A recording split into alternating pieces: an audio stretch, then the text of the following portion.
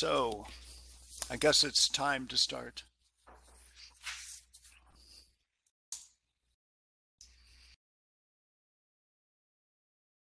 Oh, let's see here.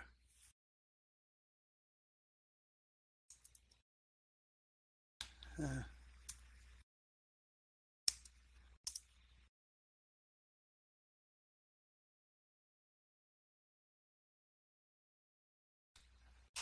I'm I'm sorry. I'm trying to get my slide projection uh, going here. Okay, this is just a slide to show. Yes, I, I was buggering it up. Um, to show the anatomy that we're going to be discussing, we have the oral cavity here. That's the tongue, teeth and appendages, floor mouth, and the pharynx begins at the anterior pillar of fauces. I guess in this particular um, slide, um, they're indicating the palatine tonsil, which is a typical thing that gets taken out in tonsillectomy as this yellowish blob there on the side. They seem to be pointing that as, oh, I, I guess here, this is what they're trying to say is palatine tonsil this is my neighborhood in a way, and I, think this slide is uh, it's hard to depict this kind of thing. There's a structure which uh, is worth knowing about, called Waldeyer's ring. It's an anatomical and histological configuration of lymphoid tissue that circles the pharynx. And the nasopharynx which is above the soft palate and behind the posterior aspect of the septum, also known as the epipharynx. Off the roof is a clump of adenoid or lymphoid tissue called the adenoid or epi uh, pharyngeal tonsil. And then the oropharyngeal tonsils include the palatine tonsil, and on the back third of the tongue is a mass of tissue which is called the lingual tonsil. This is pertinent to my discussion. And um, there's some lateral strands in the nasopharynx which kind of complete the ring. Then um, the oral pharynx, think of the oral pharynx as what you can see when you look with a tongue depressor pushing the, at the very back of the throat. The nasopharynx is above the soft palate, and the hypopharynx is the part of the throat intimately associated with the larynx. If you take a plane, there's a cricoid cartilage here, which is um, really important. If you ever had to open the airway, uh, you have thyroid cartilage, and the Adam's apple is the uh, prominent in the uh, junction and, and front of the two thyroid cartilage ala. And below it is this little bump just the cricoid cartilage. If you absolutely had to, you could enter the airway through this thyrocricoid membrane in the very front with a pen, uh, with a knife and a ballpoint pen, take the ballpoint out and you could put the tubular thing in there and blow into it to get air. Um, but normally you make a tracheostomy down here in the, like the second uh, ring. If you take a plane right below the cricoid cartilage and thyroid cartilage there, this portion below would be esophagus. It'd be cervical esophagus, and this portion above that would be the hypopharynx or lower pharynx. And um, if you do a laryngectomy, where someone has cancer of the larynx and has to have the larynx removed, when you take away all this structure, including the entire um, cricoid cartilage. It's sort of signet ring shaped. That's the back part of it uh, right there. Um, it's tall in the back, and the uh, cartilage cartilages sit on top of it. When you take that away, the pharynx is wide open, and you close it in a T, sutures, and um, let it heal for a week, 10 days. But at any rate, um, I think it helps to understand nasal cavity, oral cavity, pharynx, and larynx. Pharynx and larynx and oral cavity and nasal cavity make the aerodigestive tract. So that's where we're going to be looking at slides from that area. I wanted to talk about a couple of other things real quickly. Uh, one is uh, the age-old question, what is life? Uh, living organisms are cellular. Basically, they are cellular. They're contained structures and uh, have a defining membrane. Membranes can vary. Um, within those membranes, they maintain their own little uh, environment, um, which is called homeostasis, that maintain balance of um, all the biochemical processes carry out metabolism in which they seek out energy, or find energy opportunistically, and utilize it, and grow and do what is required to have a life cycle and reproduce. And um, course of it, they evolve.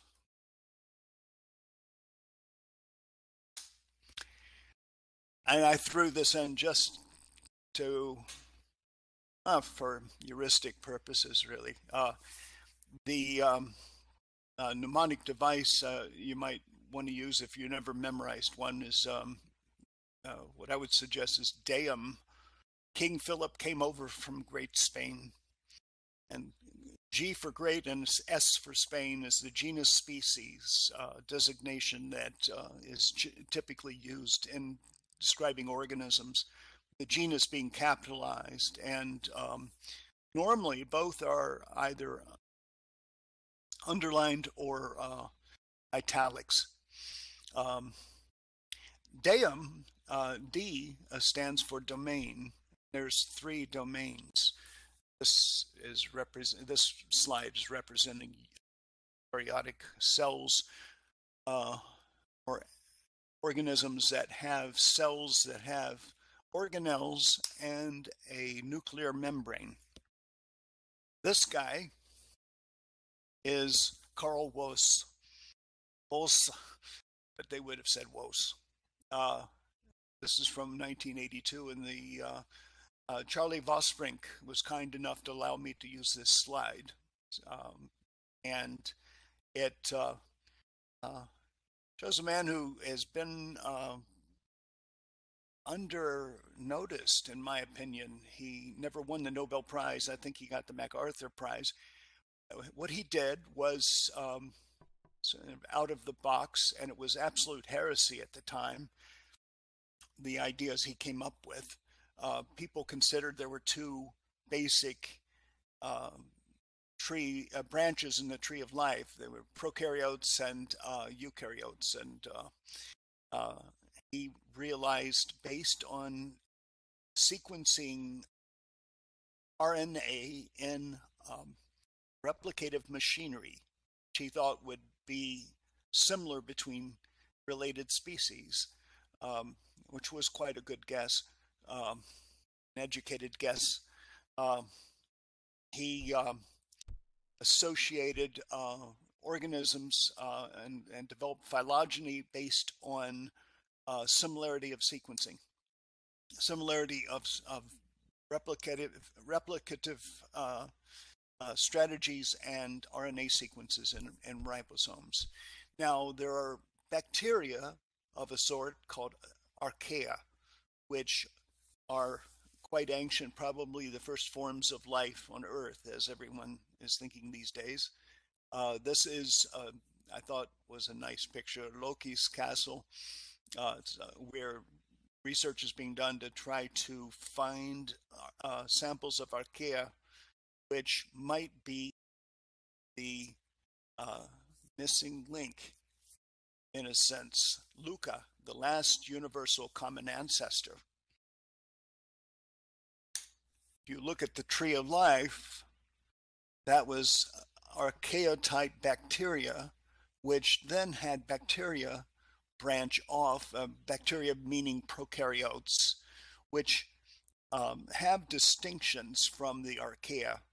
Um, they uh, both have uh, um, uh, chromosomes floating in the uh, uh, cytoplasm and such, but and neither have organelles, but the ribosomes in the archaea are much more closely related to eukaryotes, which uh, of course have cellular membranes and were later, we are all eukaryotes uh, with our organelles and uh, chrom chromatin in a, in a um, nucleus that's bound by a membrane on, uh, except in mitosis.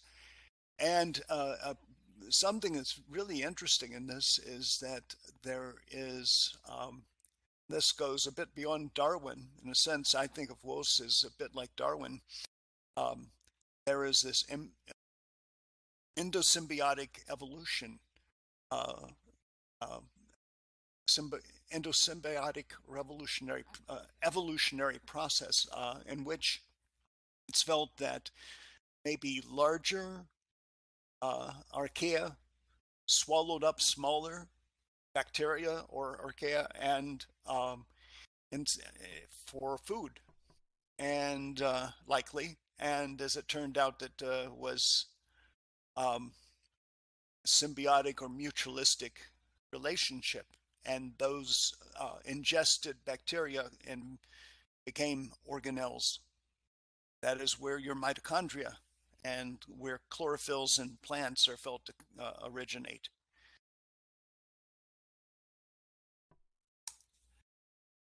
And this is, uh, I just like this slide. It shows uh, size relations uh, and down uh, one micrometer is bacteria with similar sized mitochondria, which have a double membrane and cristae and uh, membrane bound enzymes and, uh, and intermembrane space and then space in the between the cristae are these little septae or divisions in the mitochondria. Uh, they have their own DNA and they have their own ribosomes. Uh, and they divide. You get all your mitochondria from your mother, and uh, so it's the source of eternal linkage.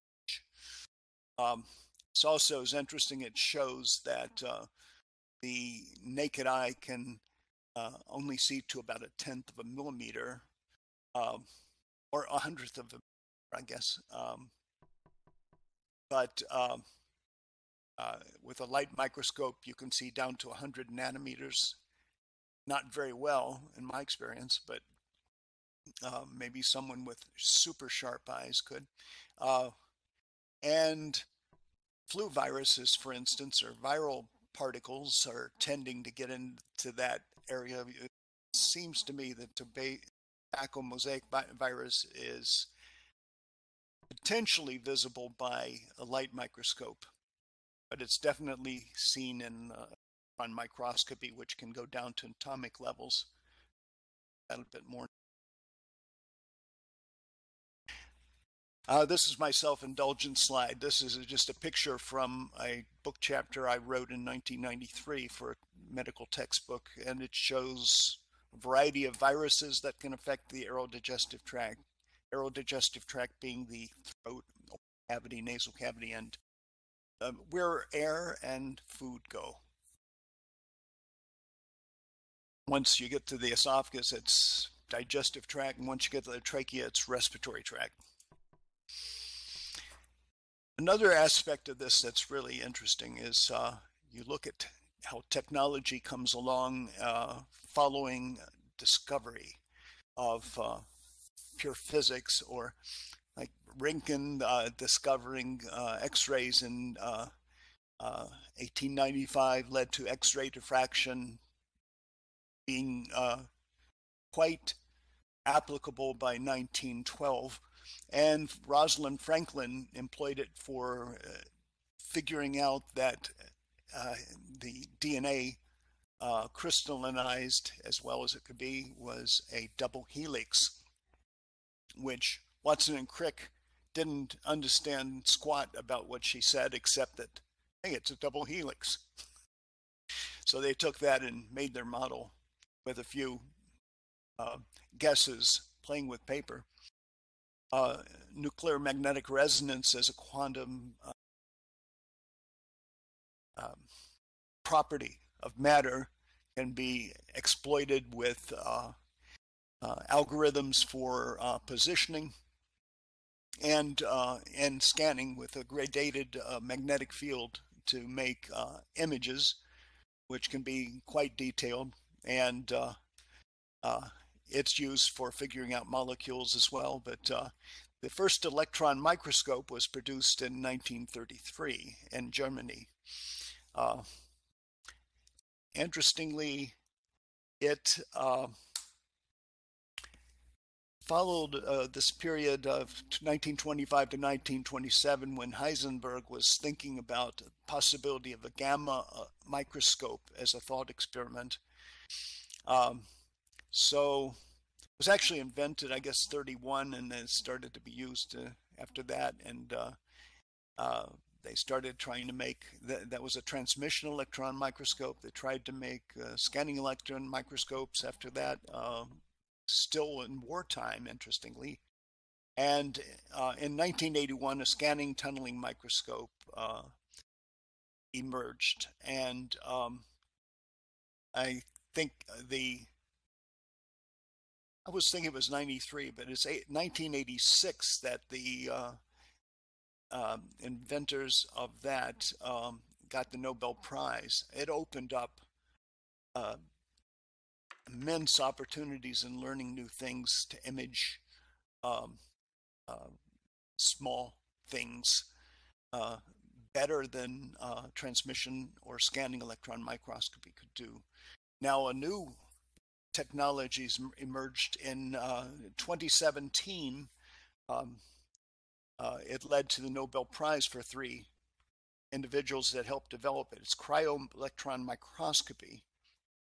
And in that, you super cool uh, samples so the water doesn't freeze but becomes vitrified. You think of vitrification, you think of clay being fired and turned into glassy substance. Um, anyway, it was a marvelous way to examine specimens and not destroy them. Uh, the conditions for which one has to uh, expose samples to um, visualize them in electron microscopy traditionally had been really harsh and destructive, uh, tailed a vacuum and other things. And uh, this preserves the structure and pretty much exactly what molecules are doing at the time they are, I'll just say, frozen frozen in place.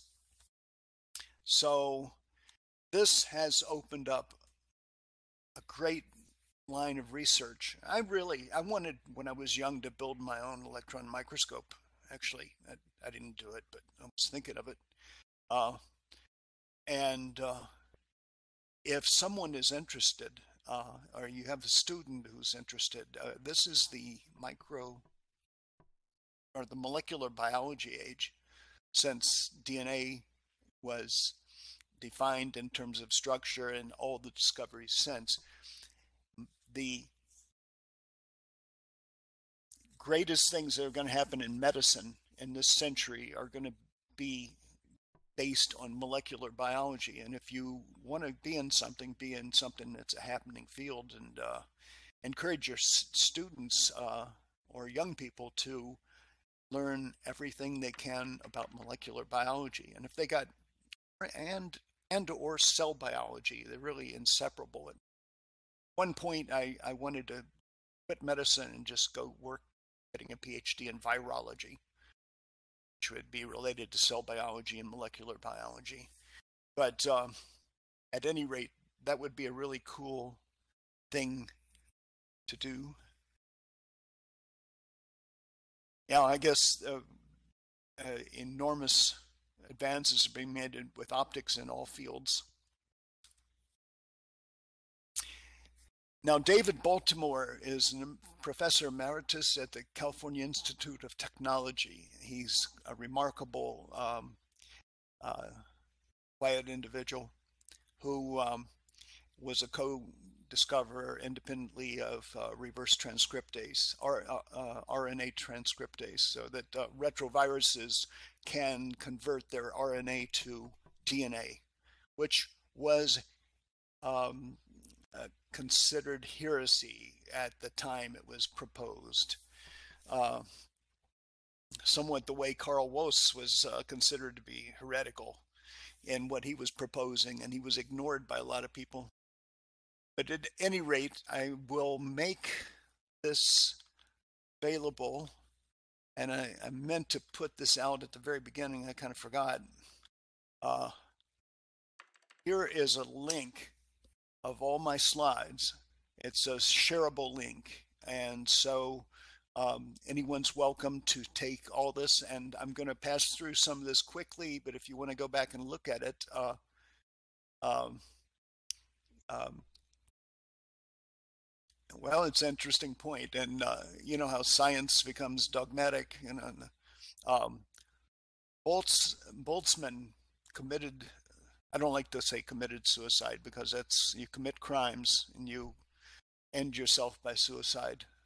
He took his own life because he felt all was lost, because Mach and others were scornful of his arguments of the atomic theory and maybe had a t- penchant for depression without being able to fight it.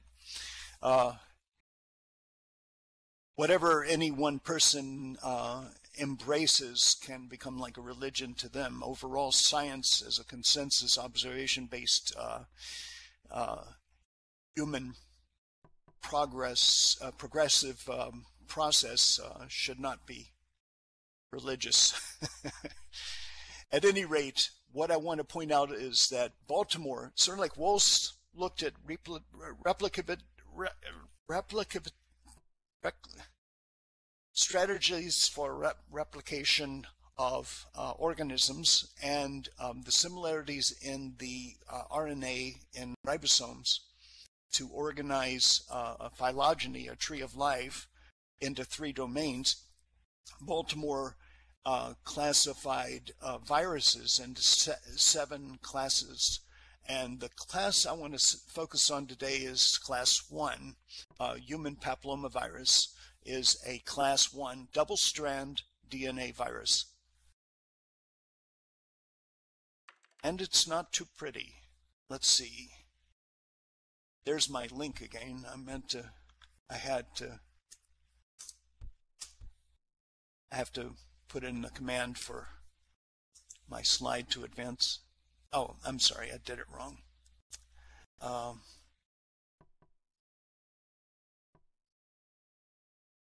uh,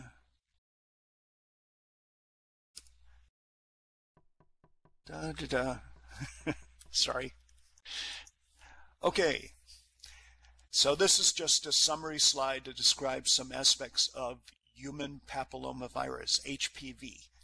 Um, they're small viruses. They have basically eight re reading frames, and in a sense, they can produce a couple of extra products, but uh, sort of by reading in the middle of a frame and some splicing, and they have special functions. But uh, the main ones I'm going to talk about. I'm not going to get into the other two.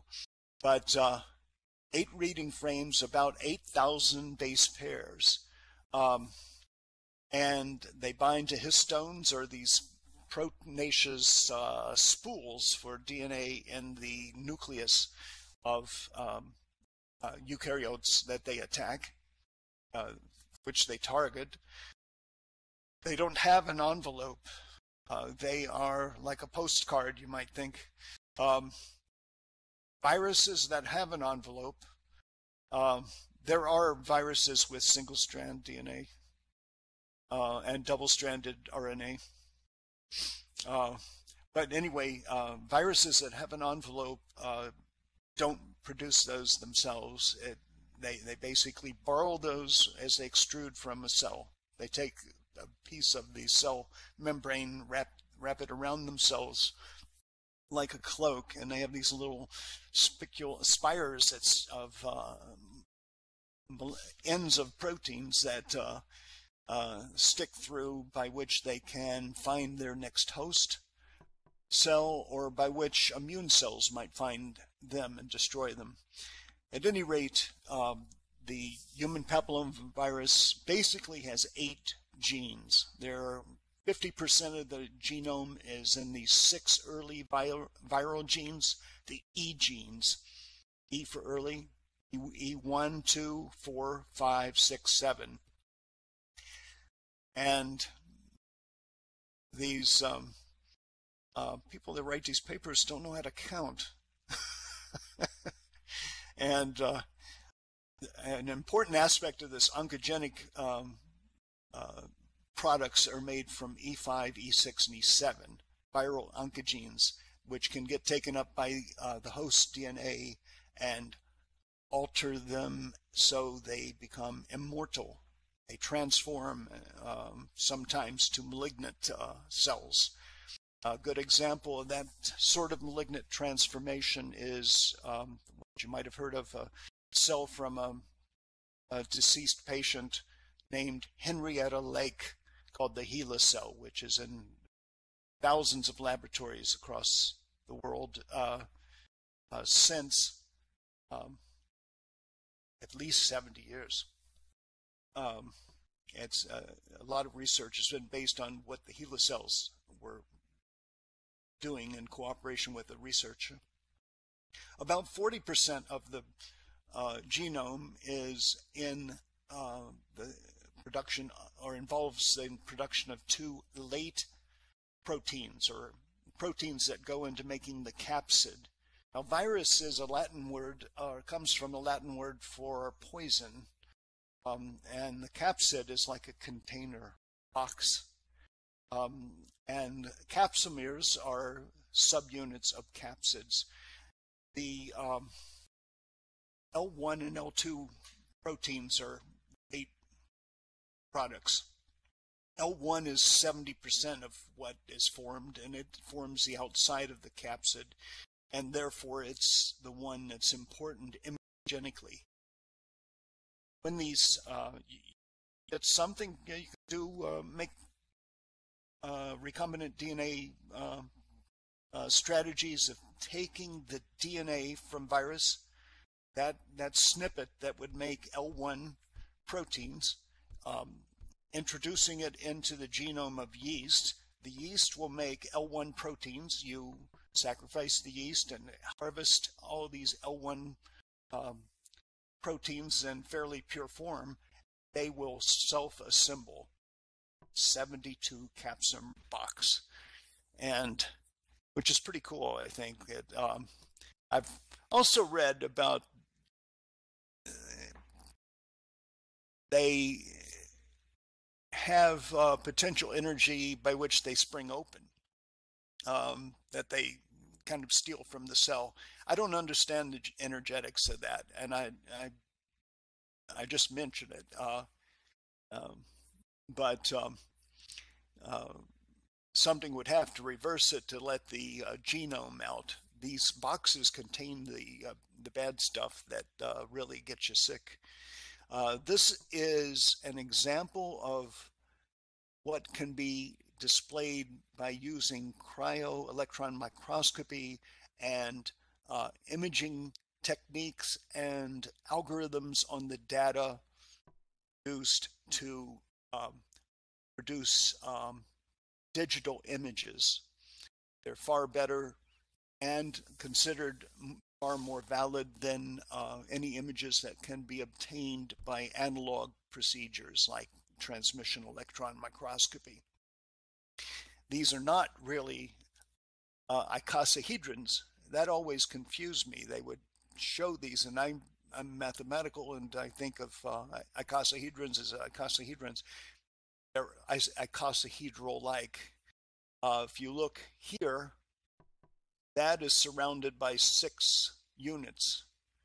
If you look here, that's surrounded by five units. It's not a, it's not a uniform, uh, uh, perfect icosahedron. It made me think of a soccer ball, but uh, it's, I think it's distinct from that as well. But uh, because uh, it has ends up with 72 capsomeres. So I wanted to review quickly um, the uh, early pro early vir uh, viral genes. Um, uh, I don't want to go into too much detail about this, uh, but just to let you know what they do. Um, E1 proteins, um, they um, bind to um, DNA and uh, they in in uh, virus and and assemble into hexameric uh, helicases with the of the second viral protein. Uh, now, I think when this starts off, it it's using the um, cells equipment. The uh, HPV virus uh, uh, replication takes place in the nucleus. The virus gets uh, into the cell, and the uh, genome of the virus gets to the nucleus, and uh, it starts off uh, slowly, and then uh, after a point, the virus itself is able to take off. But these helicases, a helicase is an enzyme or active enzyme that will unravel DNA. And uh, once you have E1 and E2 proteins being uh, produced, you can make these helicases that will uh, speed up the production of the HPV virus. Um,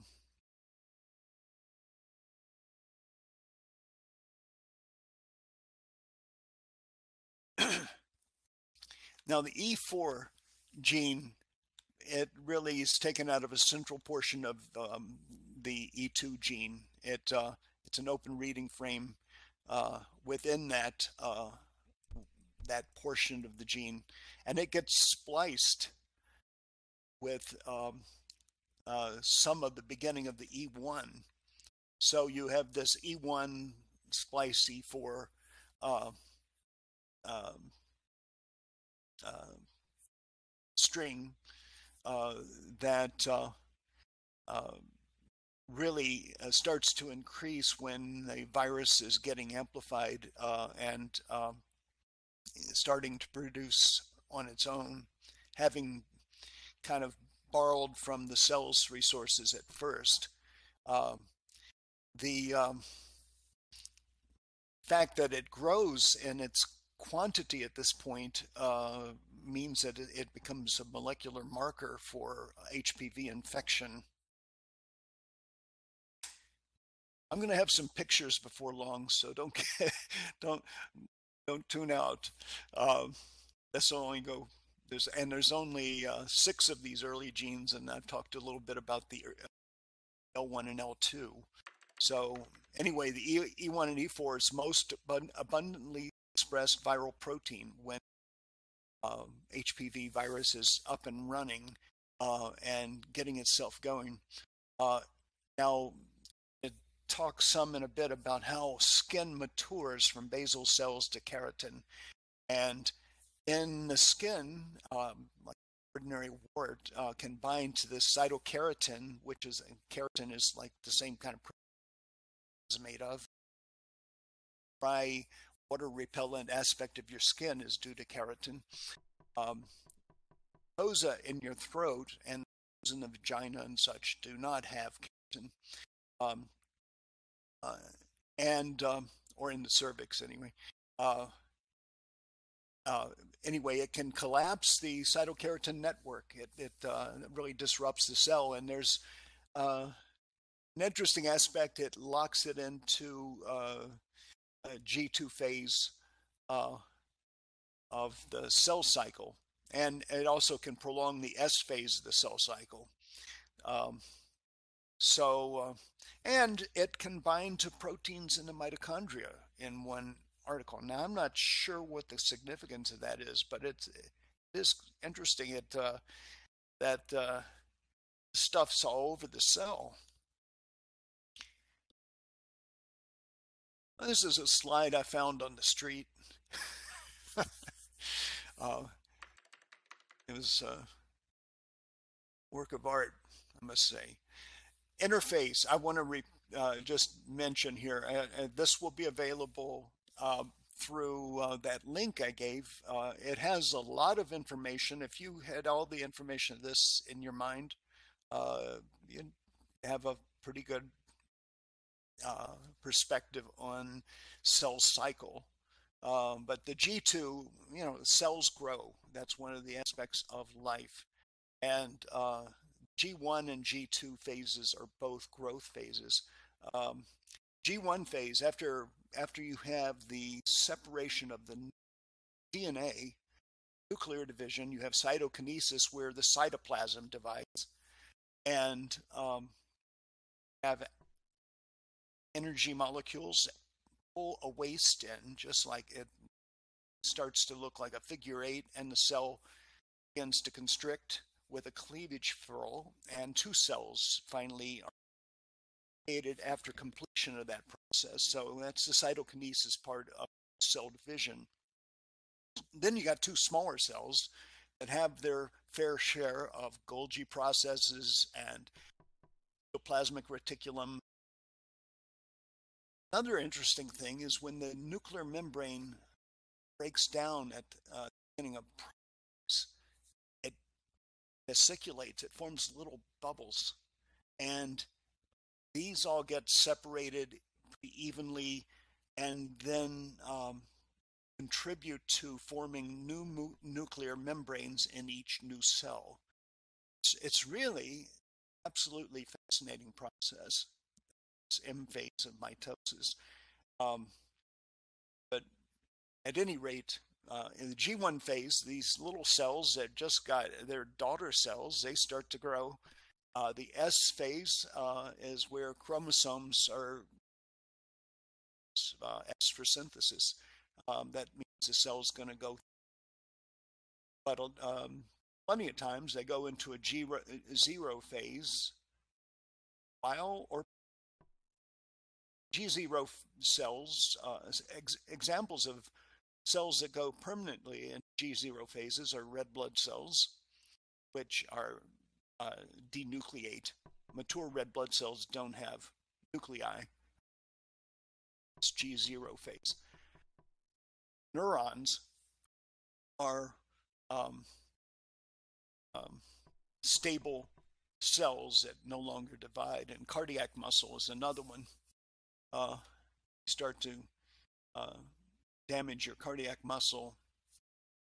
Uh, you got to be careful, you'll be screwed. you don't get any more of it unless you get lucky. Get an expensive operation. I'm not sure it's lucky.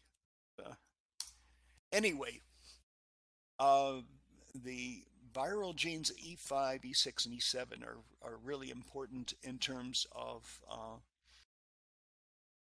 serious disease because those can become uh, taken up by the um, uh, genome of the host and change it forever. Um, the uh, E5, I was saying, uh, slows the differentiation of uh, skin cells from basal cells to the corny cells, which I'll show you in a minute, uh, which benefits the virus by giving it more time to produce more virons. Um, and uh, if it's going into lysogeny, which means it's producing virons, it's going to kill the cell and spew them out.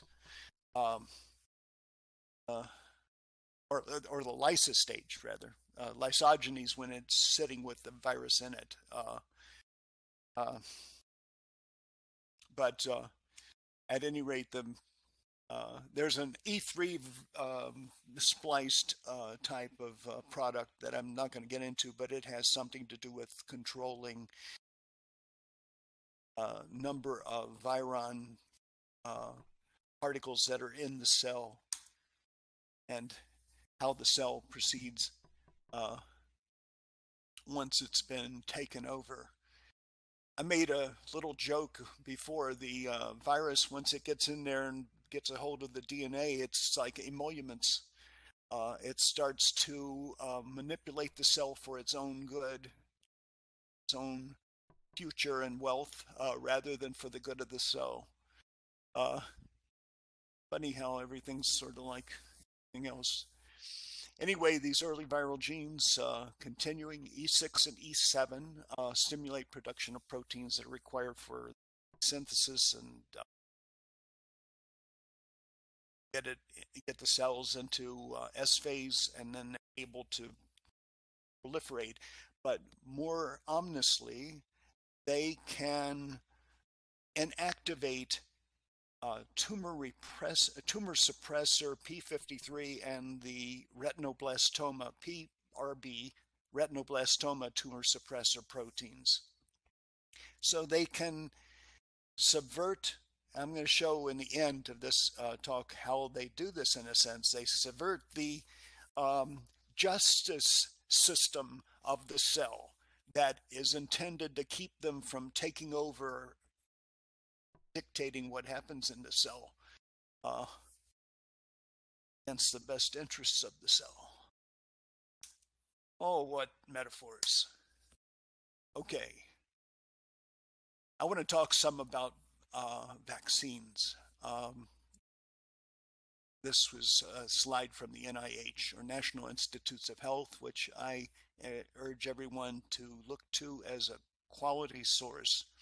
One of the great achievements of government in the world for the good of humanity. At uh, DNA vaccine uh, efforts uh, were pushed by people at Johns Hopkins. I mentioned the researchers here. They focused on HPV 16.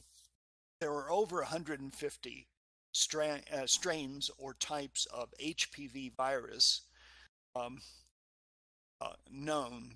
Um, 16 and 18 are two types that are responsible for 70% of cervical cancers. Um, throw in uh, not just 16 and 18, but also type 31, you're talking about 90% of cervical cancers are caused by those viruses, um, like the HeLa cell. Uh, offhand, I can't tell you which which one uh, the HeLa cell was from, but probably one of those. It was quite an aggressive tumor she had. At any rate, the I wanted to mention this. There was uh, a lot of work also done in, by uh, people in Australia, United States, and England to develop vaccines. Um, in 2006, with about 20 years of development and discovery, enabled this, including ways to uh, do recombinant DNA, whereby you take the gene and incorporate it uh, just the single gene, not the whole genome, that is responsible for something that would be antigenic, and, and put it in the yeast genome, and um, the yeast will produce L1 proteins for you, and you isolate those by purification methods uh, from the yeast, and um, which can be quite pure. Um, and you're not having to remove any viruses. You're just removing it from cellular components. Uh, and um, those L1 um, products uh, will uh, and have this done for each time. You don't have the same L1 um, section from all these types into the same batch. You do this in different batches. So it's uh, so it's nice and neat. Uh, for any one of those, you isolate the L1 proteins and they self-assemble, self-assemble to uh, virus-like particles. VLP it's called. And using this kind of um, approach, um, uh, Merck uh, was the first to market um, uh, and get a, get approved and market um, Gardasil, which had these four types of uh, HPV virus covered. Now, type 6 and type 11 are, um, they can cause malignant transformation, but more commonly they're associated with um, genital warts and condyloma acuminata, which is a wart in the uh, pretty gross in the cervix, vagina, vulva, and also rectum and anus.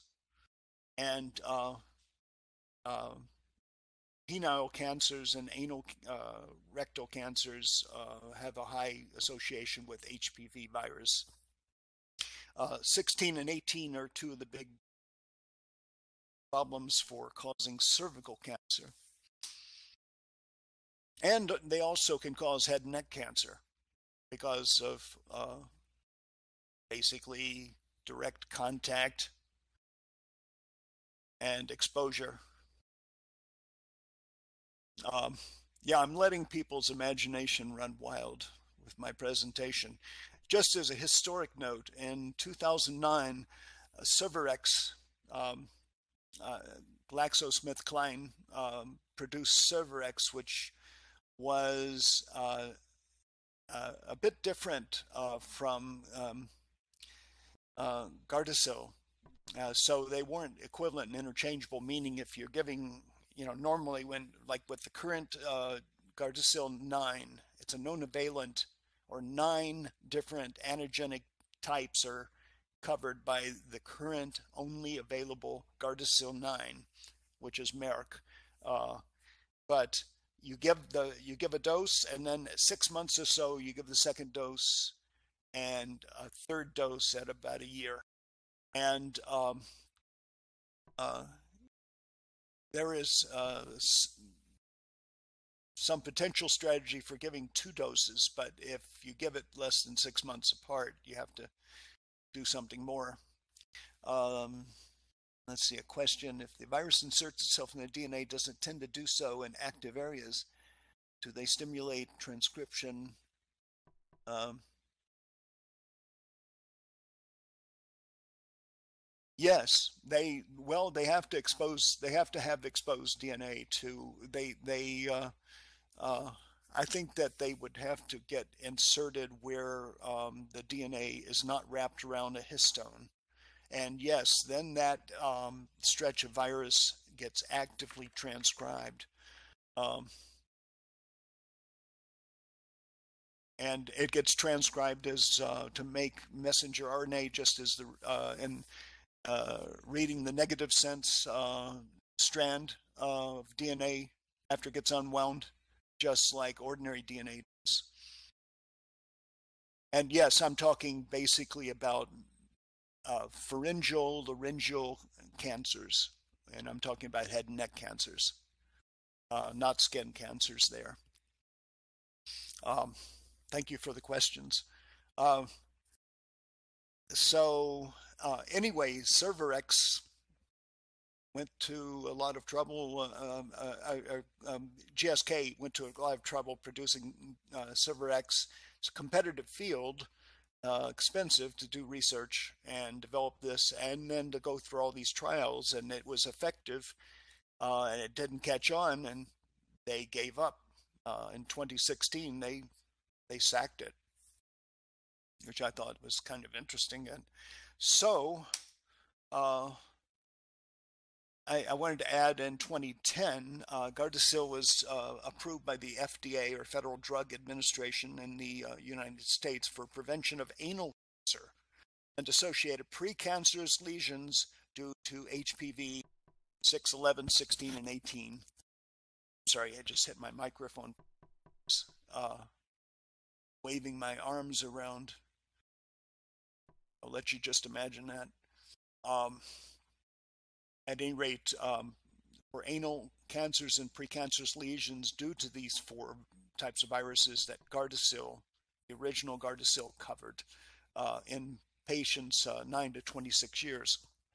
Now, currently, the uh, recommendations are for 9 to 49 years old to 45 years old uh, to get the vaccination. And um, usually three for complete uh, uh, coverage uh, as well as it's going to be. There's no guarantee that any one person getting any vaccine is going to be safe completely from the um, uh, uh, agent that's being worked on because there's a lot of things that could could go wrong if for some reason the specimen uh, the the sample the um, uh, substance had sat too long and become inactive, or if they don't shake it up, eh, it's a suspension. You got to shake it up and get it mixed up nicely to get the uh, uh, mixture right. And um, uh, if the person's own immune system doesn't respond to it, and uh, so it's not an agent that works by itself, it works by uh, it's a heads up for your immune system for um, here's what's coming. So this is one reason why they're recommending this uh, be given to children age 11 before they're sexually active. And mentioned in the earlier discussion, I think it's worth saying is um, from my experience, I think there's so many cases where uh, children are abused uh, sexually by someone in the household, um, sometimes a boyfriend or uh, someone who's not a blood relative but uh, who's predatory, and um, it's probably worth considering that uh, children younger than 11 be given this kind of protection because it, if you get it before you get exposure, and it works if enough people get the um, get the vaccine so that the virus doesn't have any place to leap to person to person. Herd immunity, yes. Now, um, Gardasil 9, it's a non-valent or nine different antigenic uh, um, types are covered. These, these, these nine different types of HPV. Uh, again, six, six and 11 are for genital and anal warts and uh, condyloma acuminata of the vulva and that sort of thing. The vulva being part of the vagina. And um, type 16 and 18 and 31 are treacherous, uh, associated 90% of the cervical cancers in women, uh, 400, I think 400 uh, million die yearly of that. Uh, I believe that's about right. Um, and then there's also uh, um, other uh, 33, 45, 52, 58, all those are associated with cancers. And I took this NIH poster, which I thought was quite interesting and might be uh, uh, something to keep in mind that people that just receive one dose are of, of an HPV vaccine have 88% lower infection with HPV in the oral pharyngeal cavity.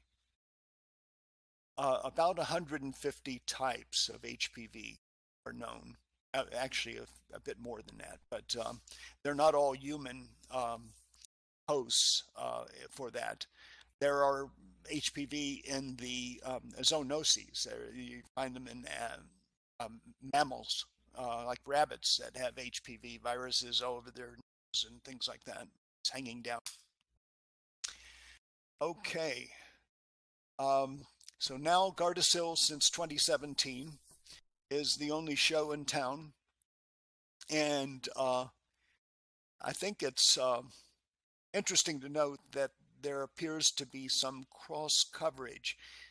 There is um, some protection against, suggested by research, against um, uh, viruses of other types based over uh, based on maybe um, molecular similarity. Uh,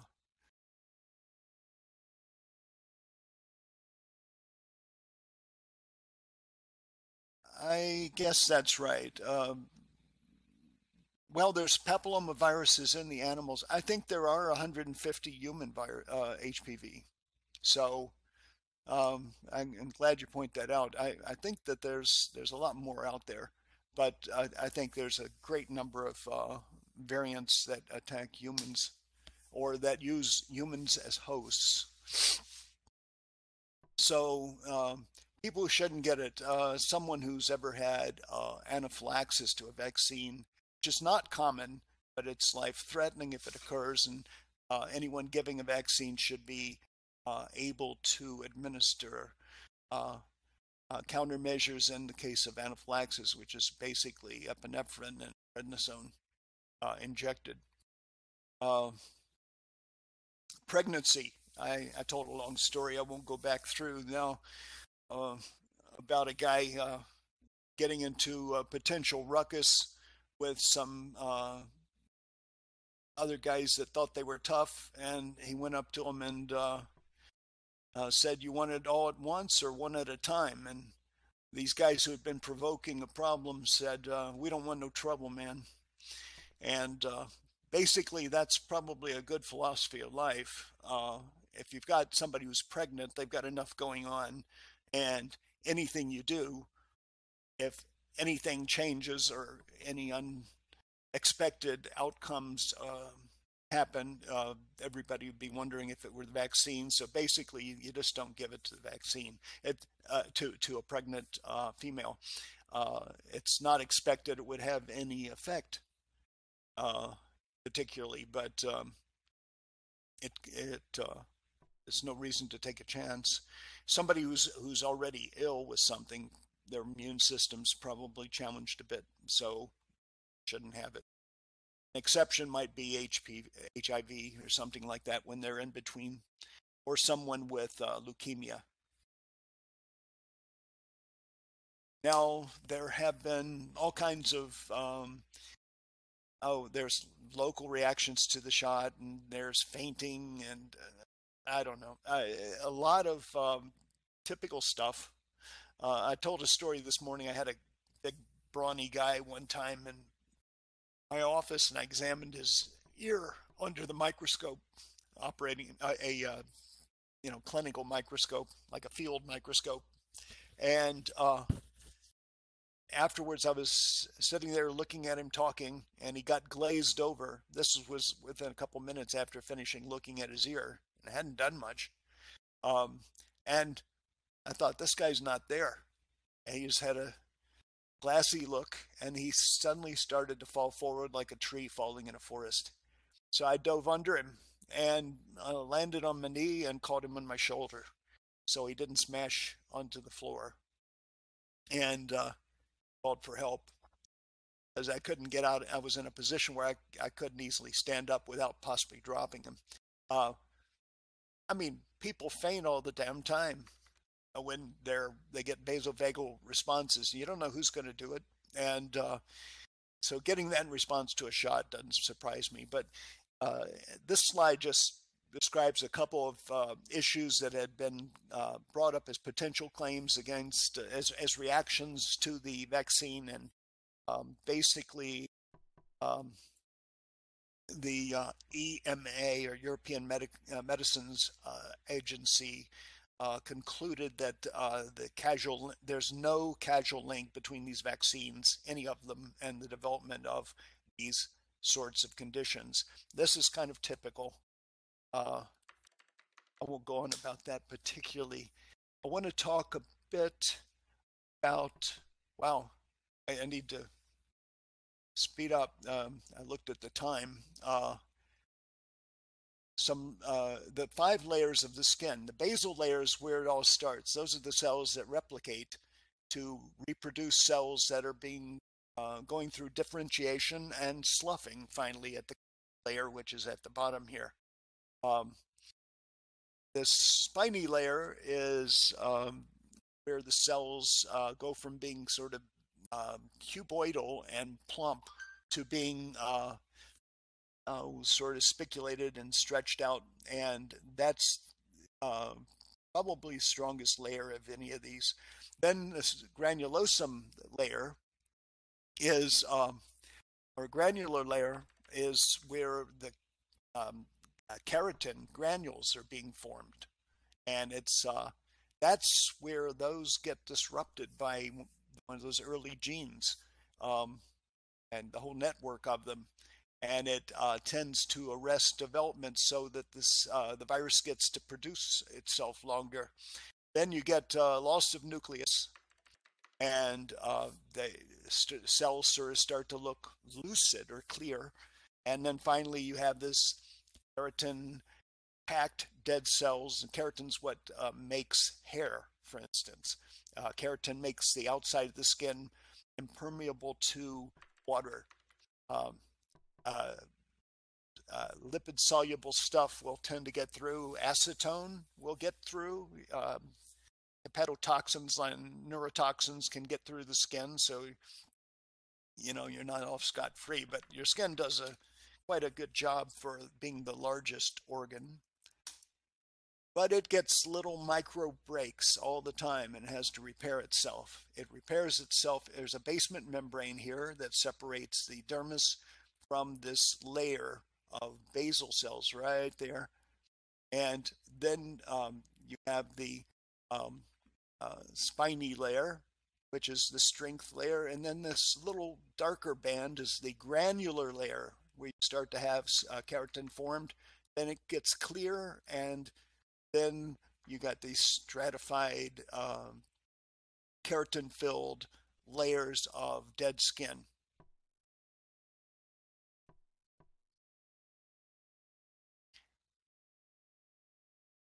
I think the integument, uh, meaning the uh, uh, skin as an organ, is is considered the largest. Is what I've always understood.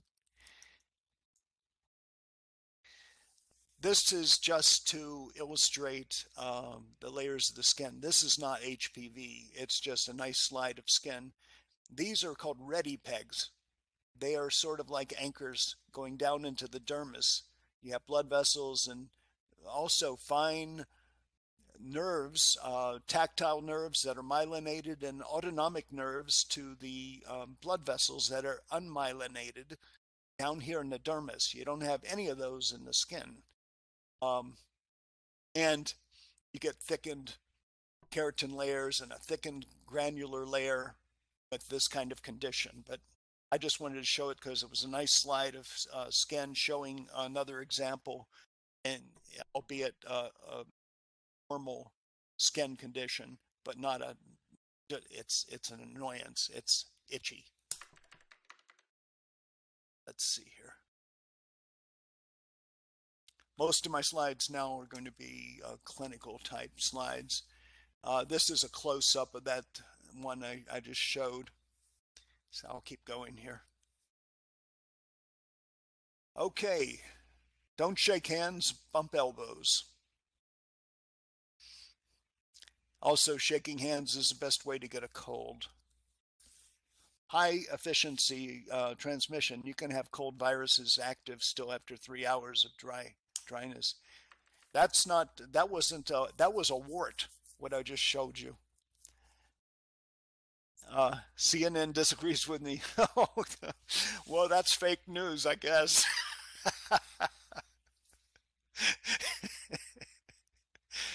uh, and I'll have to check that out. Uh, anyway, um, uh, this is a common wart. Um, uh, verruca vulgaris, um, and you get a lot of hyperkeratosis or a lot of this um, uh, corny layer. It's real thickened, and uh, the granular layer right there gets thicker and more uh, active, and um, got long, rete uh, um, pegs. Uh, and they interlock, which is kind of interesting. It helps to anchor the skin and cause it to be uh,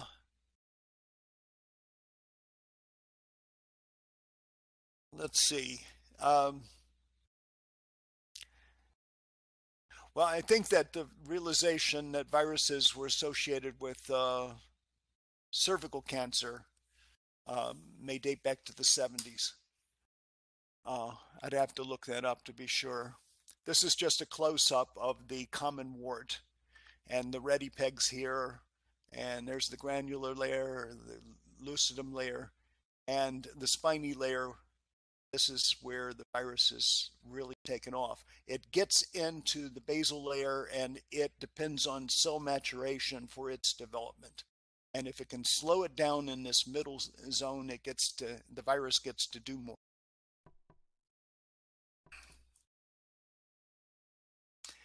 Here's the uh, endocervix. This is the ectocervix and the endocervix. Uh, and this is the junction of those two cell types.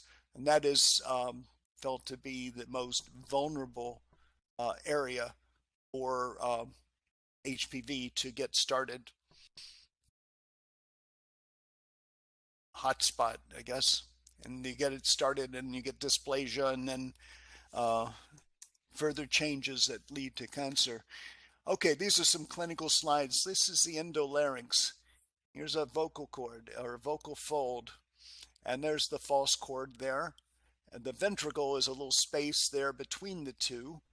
Um, here, the vocal fold isn't too bad. It has sort of um, dilated blood vessels, but uh, which isn't too unusual. But uh, this is all papillomavirus here and here and here.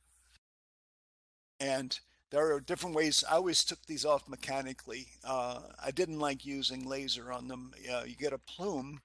You you here. This is the endotracheal tube. This is an operative um, uh, endoscopic view of the endolarynx.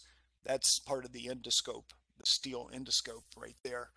Uh, but if you use a laser, you have to have a guarded tube. If you don't, um, you can end up with the tube uh, catching on fire and, um, and um, um, uh, endotracheal fires were common, particularly in early laser surgery. Uh, you have to have a laser nurse in the, in the room. You have to have all this extra equipment. It takes a lot of space and it's a lot more complex. And the more complex it is, the more likely something's going to go wrong. Also, you get reflections of the um, uh, laser beam off the metal or off the metal here if it's not aimed right you you calibrate it at the first and it can scatter and burn some stray area. Uh, so there's a lot more to worry about when you do laser extraction. Um, yeah if that happens you you pull the tube out. Uh, but you have a high level of oxygen going through these endotracheal tubes when people are asleep. This is more papillomavirus uh, caused tumor of the endolarynx. That's benign. Uh, there as well, right there, all that. That's fairly normal looking cord. That looks polypoid. It might have virus in it and eventually would look like this. It's hard to tell without testing it uh, sometimes, unless sometimes it's blatant like this. In this case, this is the front, and that's the posterior commissure, the endolarynx, kind of an interspace between the structures associated with the arytenoid cartilages, which move the cords uh, or close them. So it's kind of messy. And if this gets really advanced, uh, it can obstruct the airway. And um,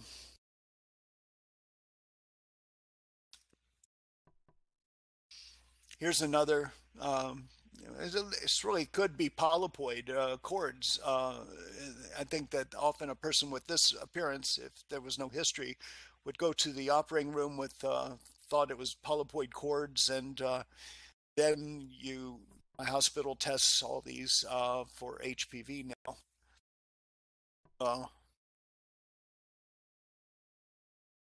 Uh, other things have been tried, like ultrasound, which was bogus. And uh, I was going to tell you that using the laser, there was with the plume of smoke, it can have viral particles. There was one guy in Boston I knew of who had a virus uh, a, a, papilloma grow in the middle of his forehead, just below his surgical cap.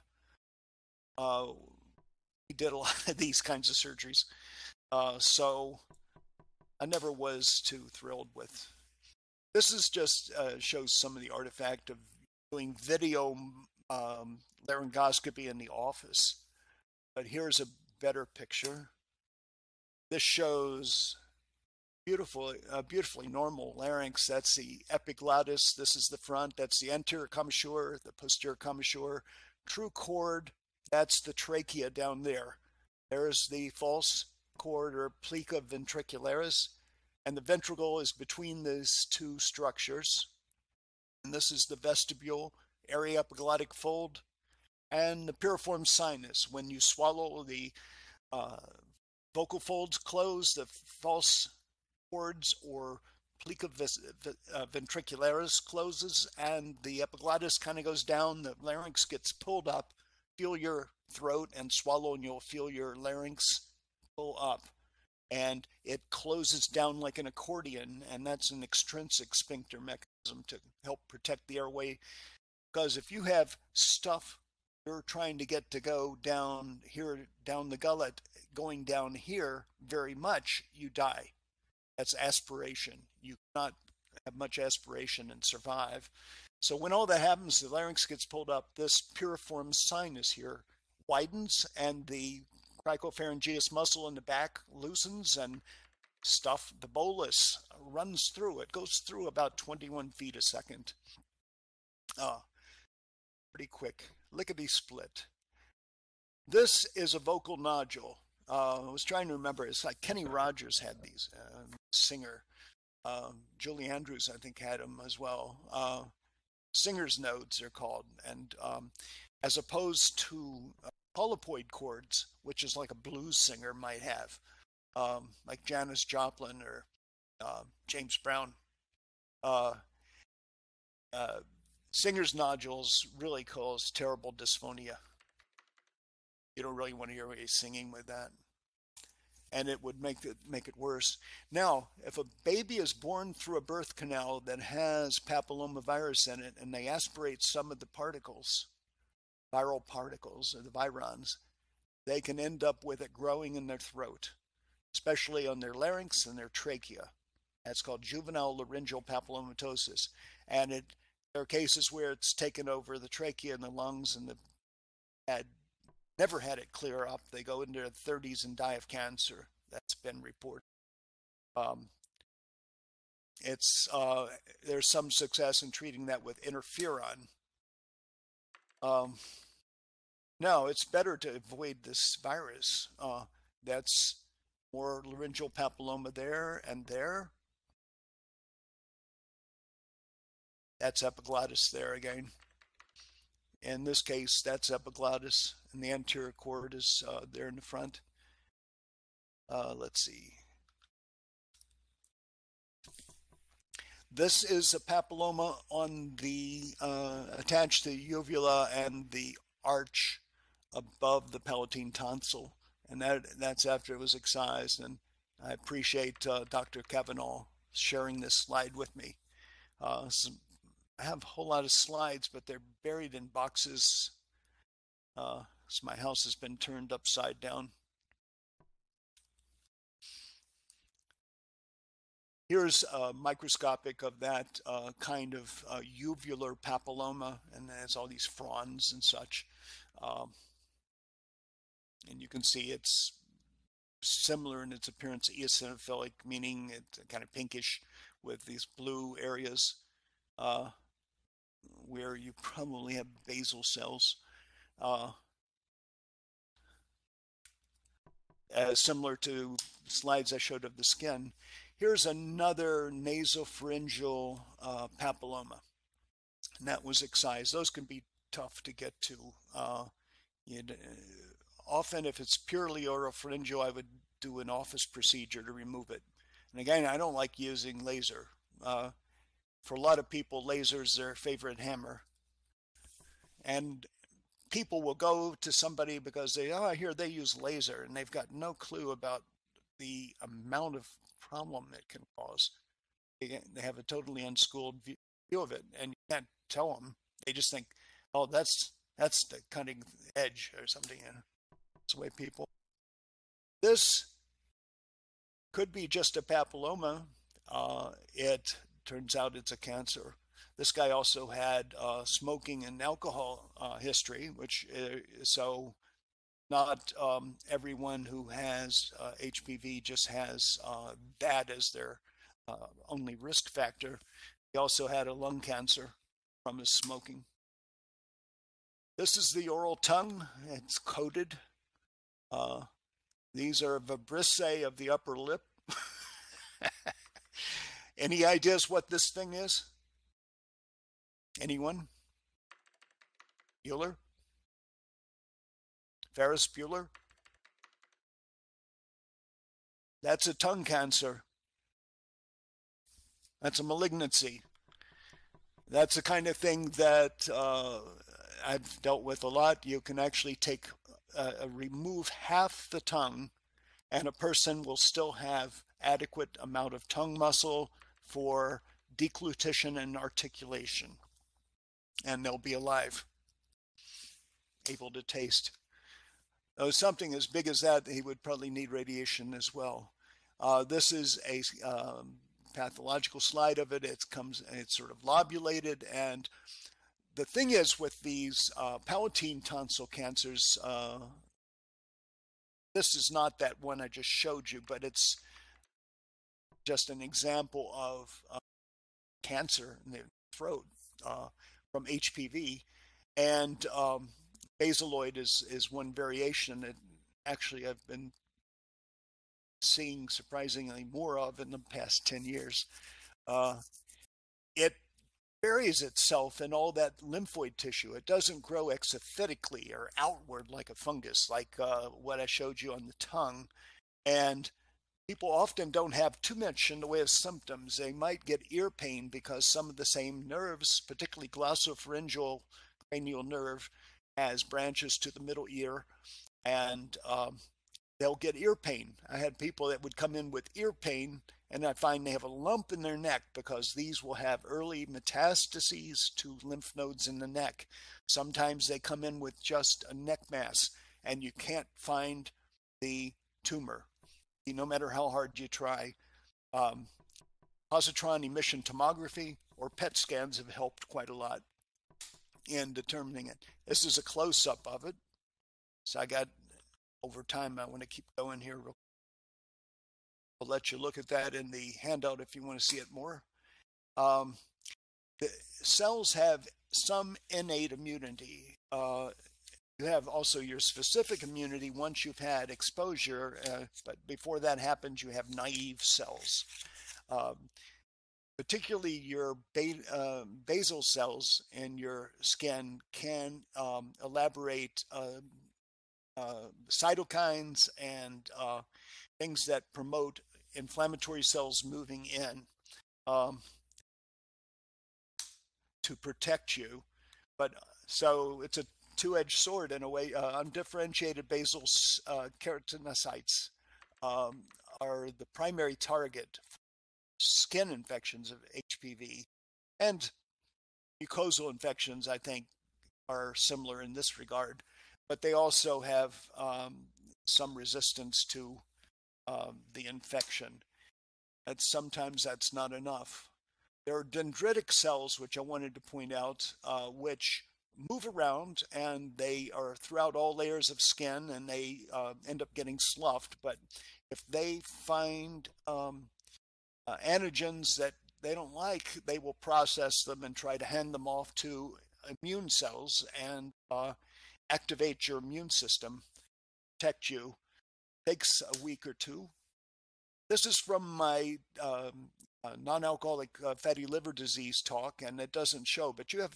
I just brought it back because you have dentate cells throughout the liver as well, and uh, they're they're throughout the body. They're not just in the skin. Um,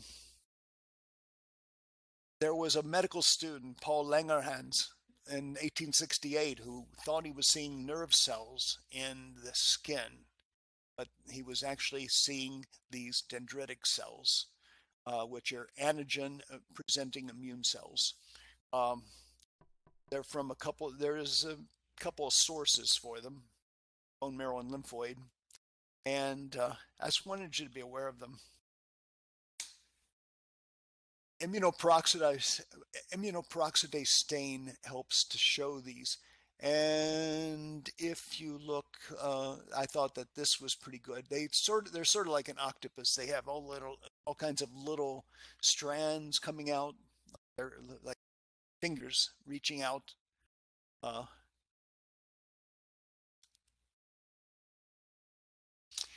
so um, these have what are called Birbeck bodies or Birbeck granules. Um, they were first described in 1961 and they're seen on electron microscopy, especially in the spiny layer of skin. Uh, something happened here. Uh, here we go. And uh, this is just a, a, source for my next four slides. I just wanted to quickly show you, I love electron microscopy. Uh, nucleolus, nucleus, the nucleus is bound in a membrane in a eukaryotic cell. Mitochondria have a membrane and they have cristae. That's where cellular respiration takes place. You have Golgi complex, trans-Golgi network, which produces endosomes, and you get lysosomes, which can be off um, smooth plasmatic reticulum process that tend to have enzymes that will kill stuff. Uh, I'll just run through these because I want to show you some Birbeck bodies. There's a second one you can look at in more detail from the handout in the shareable link. There's a Birbeck body. Here's a Birbeck body. There's a Birbeck body. Can't, I don't think you could really see that with a microscope. I've never seen one with a microscope, at, uh, a light microscope. There's one, and there's one. Sometimes they're a little bit like club shaped. And um, so, continuing on, I'm almost done. You get pattern recognition receptor cells, like the dentate cells, uh, that can recognize things like the, an example of uh, one of the types of uh, uh, things that those cells can recognize are lipopolysaccharides of gram-negative bacteria. That is like the stuff that the dysbiosis or bad unfavorable bacteria in the in a diseased microbiome uh, is producing all the time that gets absorbed into your portal circulation and percolates through the liver and and damages your liver progressively until you get fatty change, possibly uh, inflammation and fibrosis, and then cirrhosis, uh, liver cancer.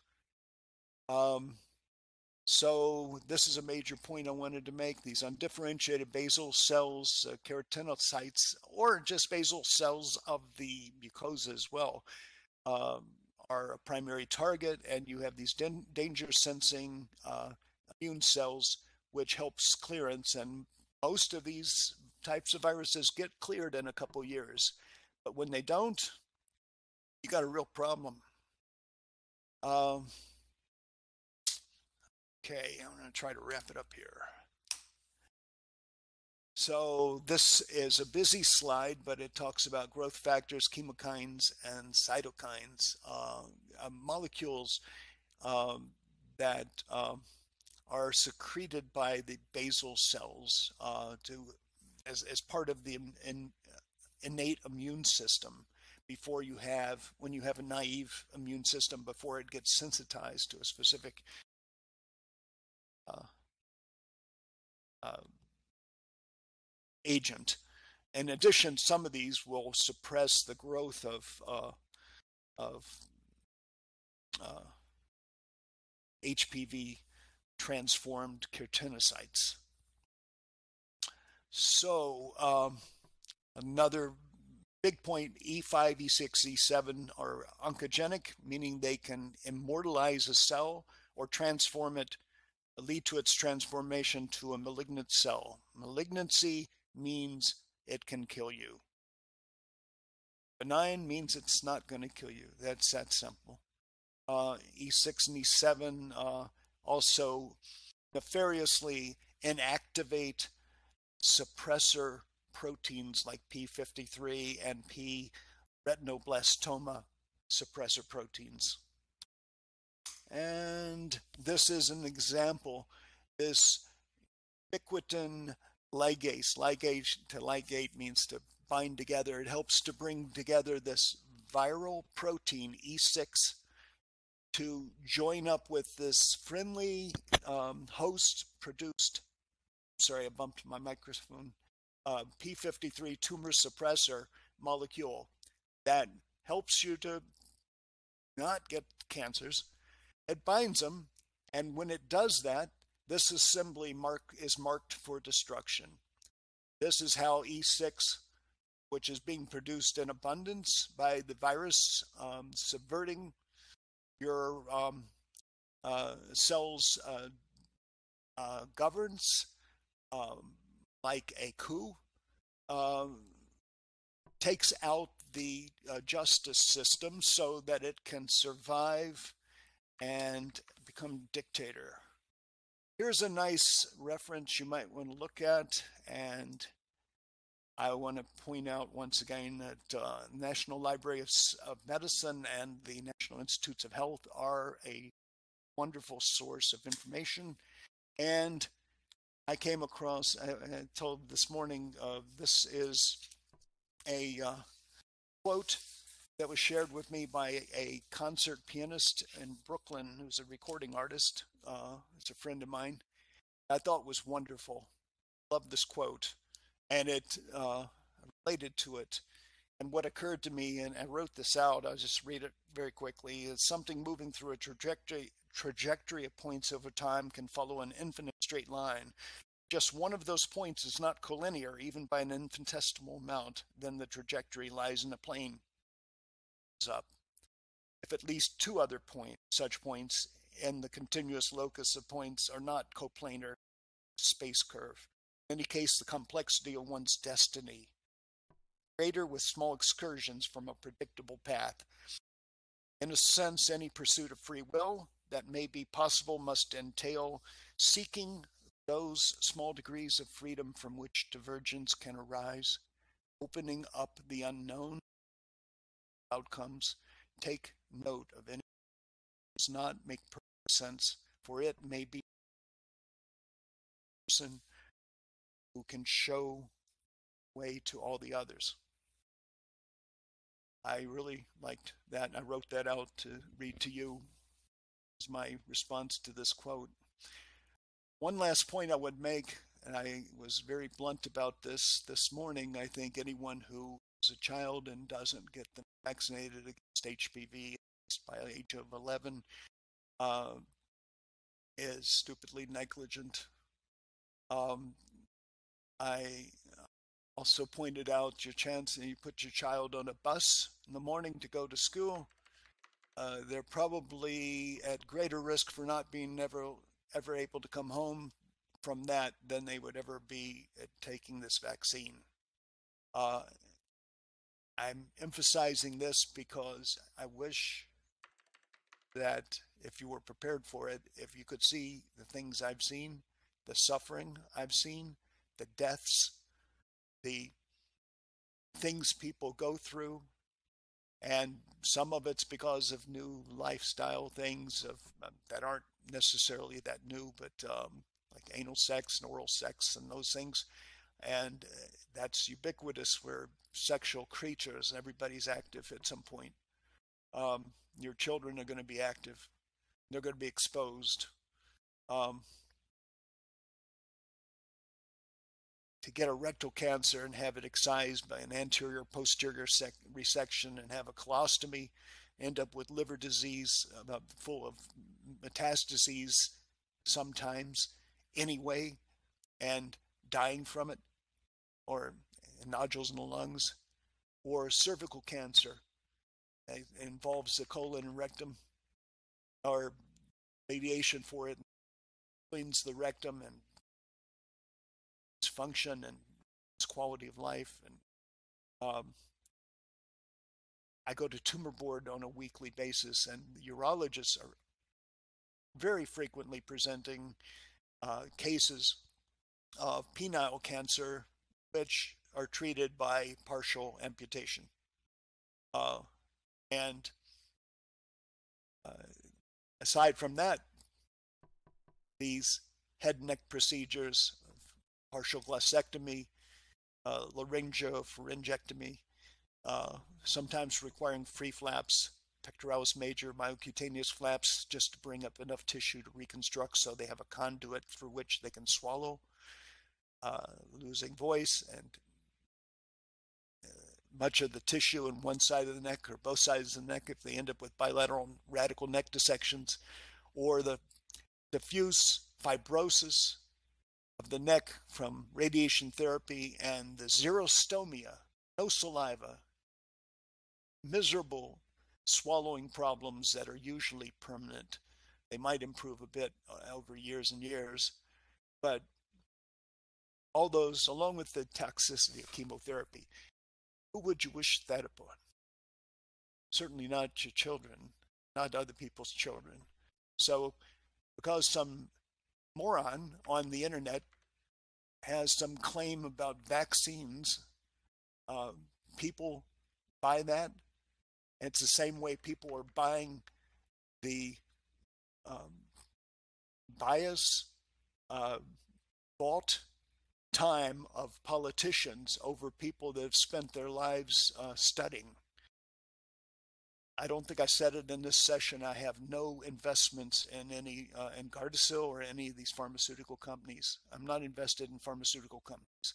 I'm not um, in any way uh, uh, benefiting from uh, promoting any particular uh, treatment or process uh, other than I'd like to see people do well and I like to see people being informed. I love science and I love teaching and want to share some of what I knew you and hope maybe you can share it with some others. And that's, that's the end of my talk.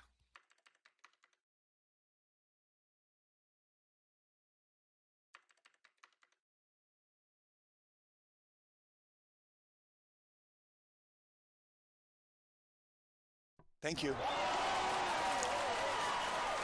Any any questions?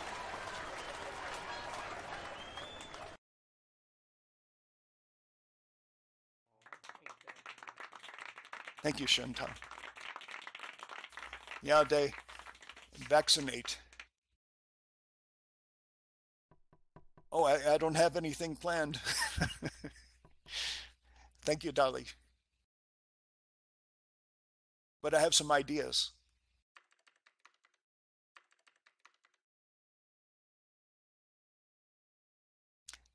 It's unfair to the children, in my thinking.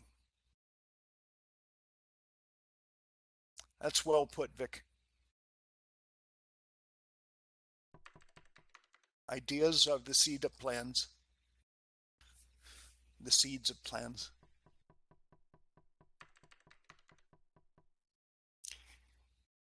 Was it a better sound production with my headset? I bought a headset about a week ago.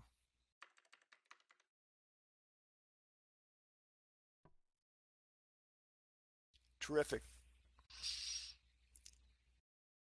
Excellent.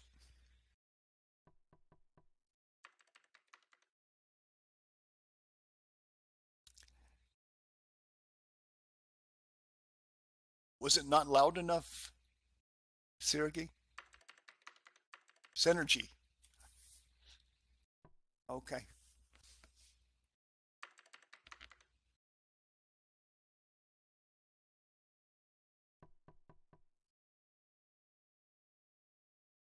Is that a question for me, Vic, or for the crowd?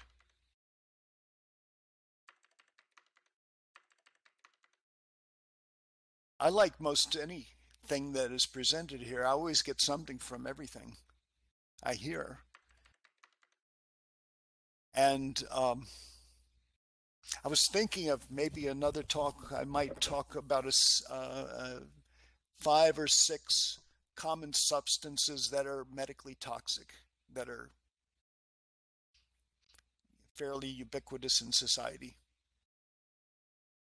That might be interesting, I think, because it would um, have applicability to a lot of people's lives.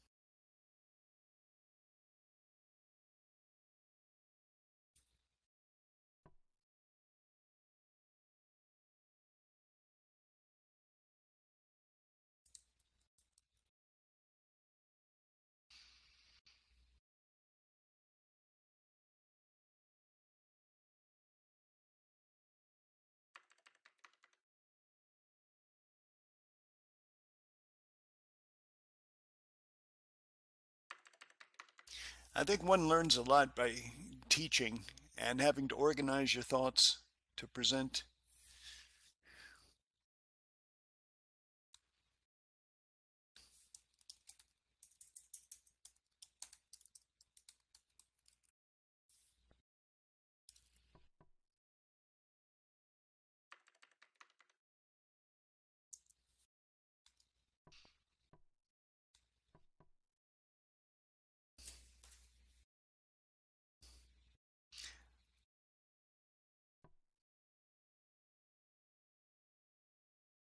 Thank you, Vic.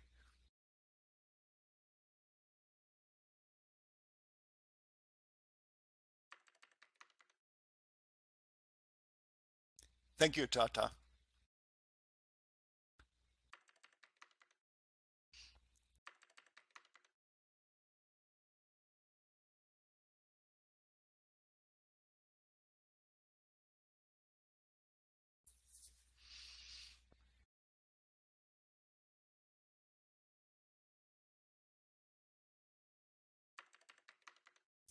Yes, I like to hear music when I'm working. And in fact, when I was in medical school, I always played classical music uh, as I was studying. And it struck me, it may be just my brain, because a lot of people wanted absolute silence. But, um, and I would get up at four in the morning and put on headphones and listen to um, Brandenburg concertos and things like this. Uh, uh, Mozart's good. uh, uh, really, almost anything. Uh, I, I, love Brahms. Uh, Brahms' Fourth Symphony, actually. Sibelius is wonderful, but it seemed to me my uh, a, a, different part of my brain processed the music. I could listen to the music independently while I studied and still and also when I would get up at four in the morning, I'd study and be really intense. And um, that was my own pattern. Um, I, it may have been a bit unusual to waken that early, uh, but I would study really intensely, and it would seem like a couple hours had passed, and I would look, and it was like 15 minutes, 20 minutes had gone by, and I thought, wow, I've got tons of time left. And um, my retention seemed to be really good when I studied that way. So I guess after um, what, however many hours of sleep, I'd cleared the toxins from my brain. And it was functioning better.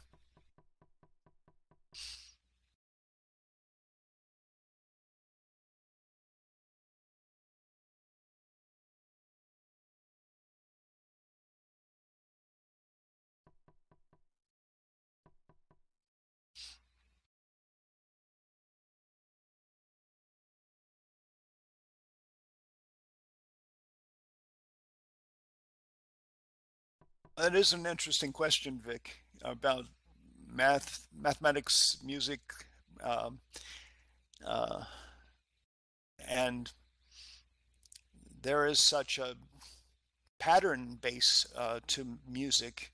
Uh, I, when I do Sudoku uh, uh, puzzles, I can go really fast if I see a pattern. Oftentimes a pattern just it solves itself. And then some seem like they were uh, random. And it's like a chessboard. If you have a chess master and you put the pieces on the board at random they won't do any better than the average person uh, who might be a chess player uh, because there's no recognizable pattern there. Uh, but the brain seems to pick up on patterns. Uh, some people's brains are more pattern oriented than others Maybe that's it. I would say that in terms of socializing, um, I always got along better with mathematicians and uh, physicists uh, and chemists as well. Uh, although I had a few chemists that I came across who I couldn't relate to, uh, but I got along better with, with them than with physicians.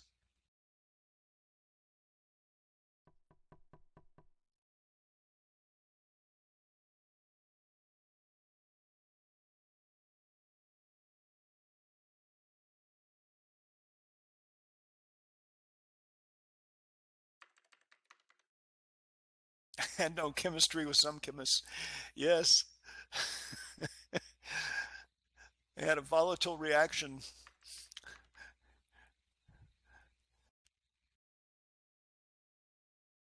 But with a lot of physicians, I had, um, they are, I don't know, saying this is, well, I shouldn't talk about it. They, uh, they had a different kind of background from what I had grown up in and didn't see the world at all the same as I. So I just kept my mouth shut.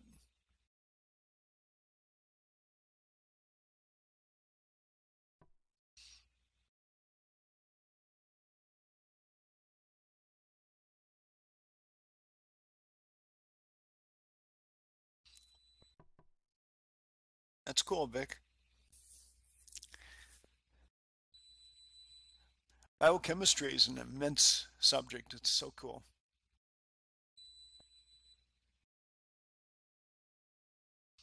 And so many gaps are being filled in.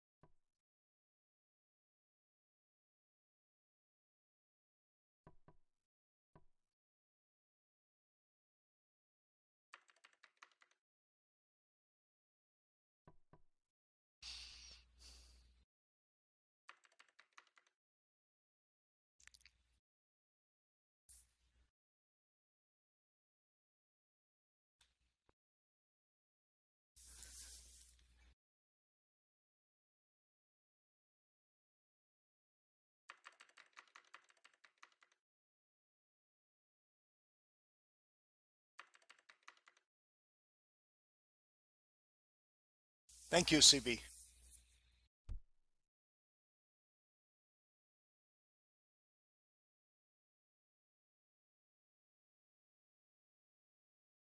My pleasure.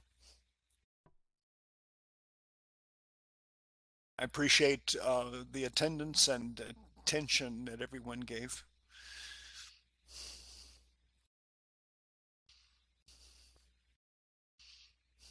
And the good questions.